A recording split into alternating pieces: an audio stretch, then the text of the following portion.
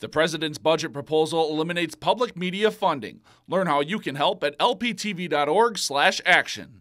Residents in Bemidji could be treated to a short but sweet Northern Lights display overhead tonight.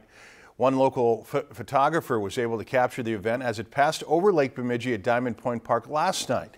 The National Oceanic and Atmospheric Administration predicts that a moderate geomagnetic storm will happen today and tomorrow night. The best time to see the event is between 9 p.m. and midnight in a place away from lights and without trees. As I moved across the shoreline towards the point, uh, I noticed they started getting stronger and stronger. And when I got, finally I got into the water and got my tripod down, I noticed it was bursting with colors and light all across, very visible to the naked eye, and it was beautiful.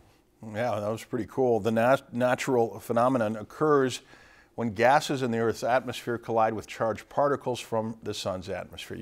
If you've enjoyed this segment of Lakeland News, please consider making a tax-deductible contribution to Lakeland Public Television.